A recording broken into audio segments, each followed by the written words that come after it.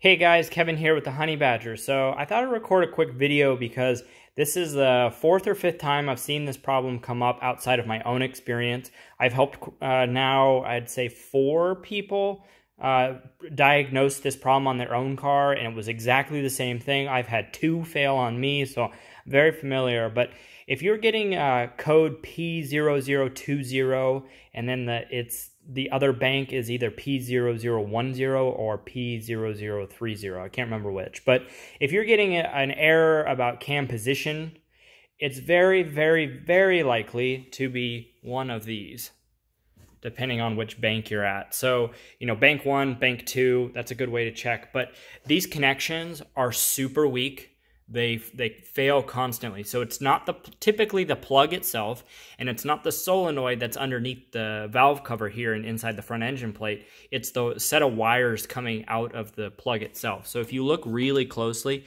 you can see the kink in the oh sorry, the kink right there above my nail. Like it's just ridiculous. I've gone through two harnesses.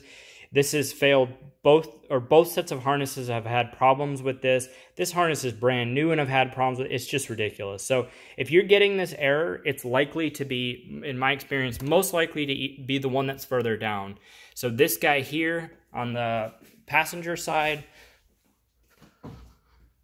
or the one down here is the most susceptible because it's near the airbox. So if you're moving your airbox around or anything like that, this is just very susceptible to getting, you know, wangered and, and pressure and things like that. So keep that in mind. But yeah, if you're getting any type of error about cam position sensor in a car that is otherwise running perfectly fine, uh, or otherwise was running uh, perfectly fine, very good chance that it's a wiring issue. The solenoids are very, very robust. I have another video where I talk through that. I'll put in the link. But the, the solenoids that are in the front engine cover on the GT350 are very, very uh, robust. Like, you're very not likely going to break that and have any problems with that. It's possible, but it's very unlikely. You're far more likely to have a bad engine harness before that. The good news is I'll also put it in the link uh, in the description, but you can buy this plug on its own. I'll warn you now, it's stupid expensive. It's like 40 some dollars, but you can buy this plug. You could also go ahead and try to repin it yourself if you want to do that. But um, my recommendation is just buy the plug and replace it if your engine harness is otherwise good.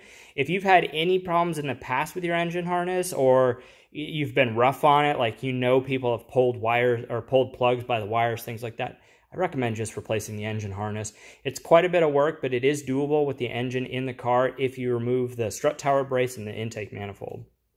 And it's about $200 if I remember, which if you feel like you're going to have multiple plug failures, it's worth the peace of mind. But uh, last thing, one way you can check if this is your culprit, start the car, jiggle them around because if you start messing with this and it, it works, then it doesn't work because it's shorting in and out, in and out, the car will run fine and then it'll start to, you know, it'll run, it'll start to have a rough idle. Then it'll run fine, then it'll have a rough idle. So it's a really good, easy way to detect it.